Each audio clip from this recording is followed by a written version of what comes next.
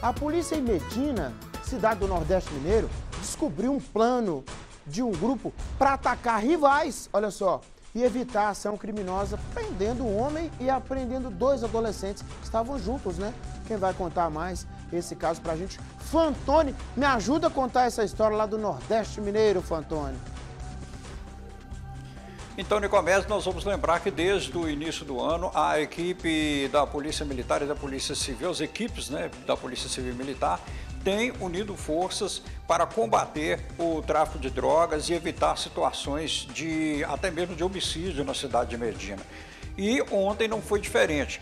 A equipe comandada pelo delegado Danilo recebeu a informação de que em um determinado ponto um homem e adolescentes estavam em uma residência e tramavam atacar um grupo rival.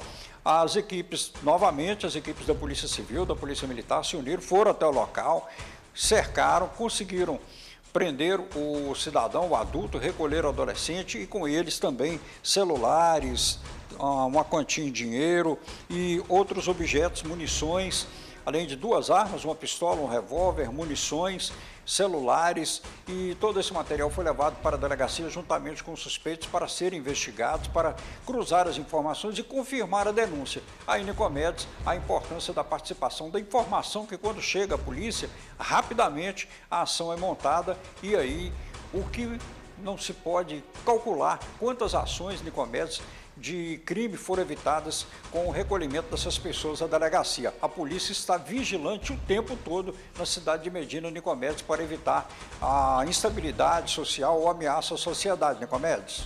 É, ué, é colocar ordem em Medina aí, né, Fantônio? Ordem Medina. Paz para a nossa querida Medina. É.